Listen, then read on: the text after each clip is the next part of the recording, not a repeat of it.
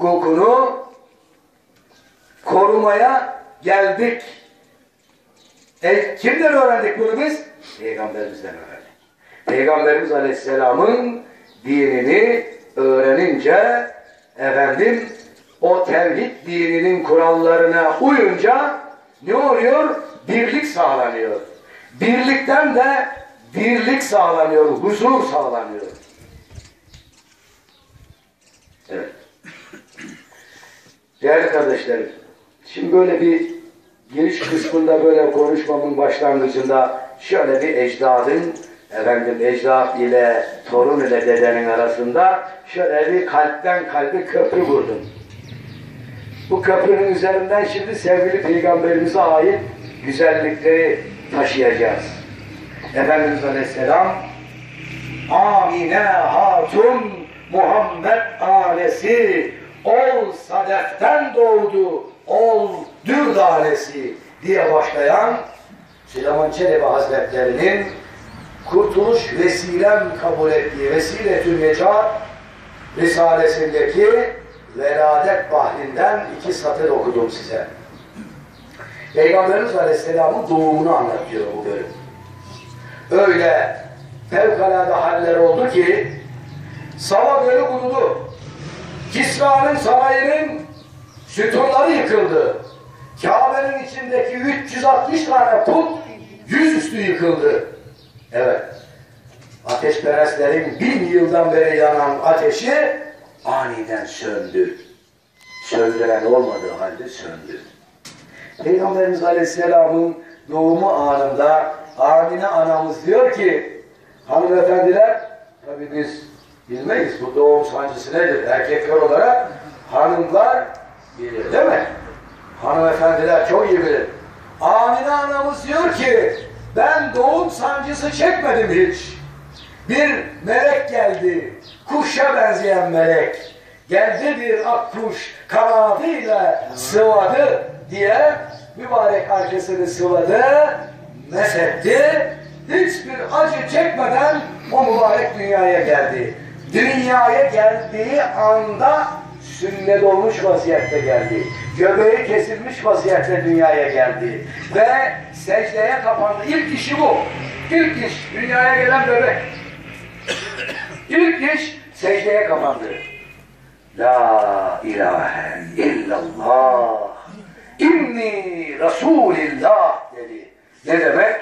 Allah'tan başka ibadet edilecek, kulluk edilecek, tapılacak bir varlık yoktur.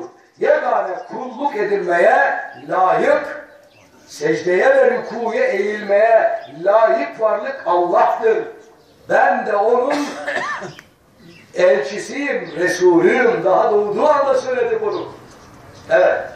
Ondan sonra diyor Amine validemiz, meleklerden bir grup geldi. Bu yavruyu aldılar, götürdüler. Hatta bir rivayete göre 6-7 gün sonra getirdiler. Ahmet hocam. Zemzemle yıkıldılar melekler. Nur kundak içine sardılar. Beşi belediler, getirdiler anaya. Evet.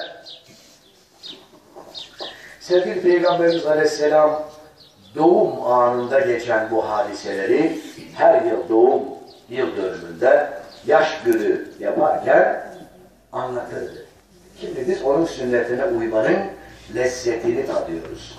Ben anlatıyorum, siz de dinleyerek bu lezzet, bu sofradan lezzet almaya çalışıyorsunuz. İnşallah, inşallah efendim o mübareğe layık anlatmakta aciziz de onu anlatarak şerefleniriz hiç olmazsa. Hassan bin Sabit Hazretleri vardır. Eshab-ı kiramdan şair. Diyor ki ben diyor şiirlerimi şiirlerimde onu methedemem. Methettiğimi iddia etmiyorum.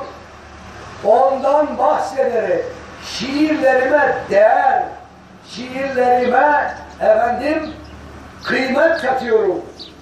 Evet. Çünkü Peygamber Efendimiz'den bahsedilen sohbet kıymetli olur, değerli olur, bereketli olur. Eskiden dedelerimiz torunlarına yavrum derdi. Evladım, Peygamberimizin annesinin ismi neydi yavrum Peygamberimizin annesinin ismi? Amine. Biraz önce söyledim ya. Dedesinin ismi Abdullah. Aferin. Babasının ismi pardon babasının ismi Abdullah. Dedesinin ismi Abdülmuttalip idi. Değil mi? Evet. Mübarek hanımlarından ilk evlendiği hanımefendisi yani bizlerin annesi oluyor. Hazreti Hatice anamız idi. Evet. Değerli kardeşlerim. O öyle mübarekti ki, o öyle büyüktü ki, onu, onu diyor ki şairin biri, onun büyüklüğünü anlatmaya ne kelam, ne kalem muktedir değildir.